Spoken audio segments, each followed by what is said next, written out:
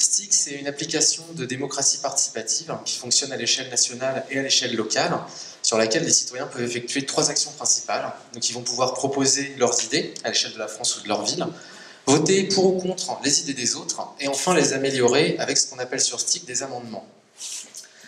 Au sein de STIG, il y a un algorithme ensuite qui récupère toutes les statistiques qu'on a pour chaque idée, les votes, les amendements, les pourcentages, etc. et qui synthétise tout ça en une note unique, le STIG score, qui représente le succès qu'a l'idée auprès des citoyens. Et grâce à ce STIG score, ben, on va pouvoir classer les idées et créer la première vision en temps réel de la volonté générale, qui est notre objectif.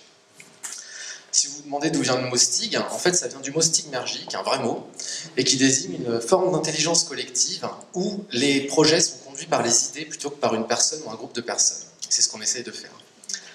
La version bêta de Stig, elle est en ligne depuis un mois maintenant. On a un petit peu plus de 4300 utilisateurs.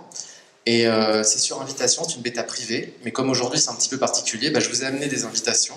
Donc si vous voulez tester Stig dès aujourd'hui, vous avez juste, je vais le poser sur le comptoir et vous venez chercher une invitation tout à l'heure. C'est disponible sur euh, smartphone, tablette, ordinateur, sur tous vos écrans.